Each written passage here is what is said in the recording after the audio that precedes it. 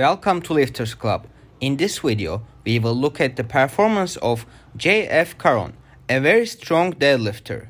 JF Caron's body weight is 342 pounds and his height is 6 foot 2 inches. JF Caron was able to lift exactly 1202 pounds in his truck tire deadlift movement. He is a very strong athlete in conventional deadlifts. He can do reps with 400 kilos without using a suit. I would love to do a deadlift training with this guy.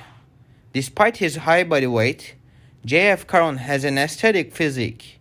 It's pretty impressive to be this strong and look this good at the same time.